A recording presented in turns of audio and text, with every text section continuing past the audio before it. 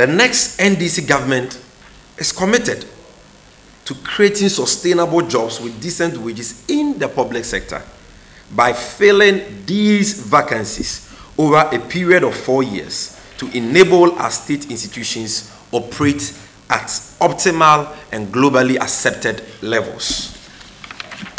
Additionally, the next NDC government will roll out an effective environmental health inspection program that will engage about 25,400 staff to help in public education on preventive health.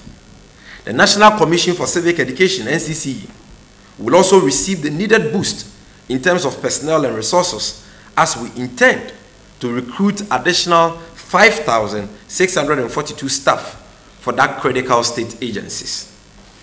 Also, we shall establish regional IT hubs which will engage 2,000 youths with IT background to provide ICT training to other young people across the country.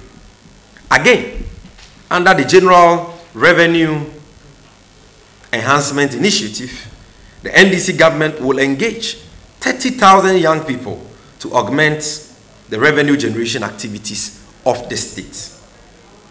So, ladies and gentlemen of the media, the net effect of the public sector human resource gap analysis on job creation is that the next NDC government will create a minimum, a minimum of 200,000 additional decent and well-paid public sector jobs.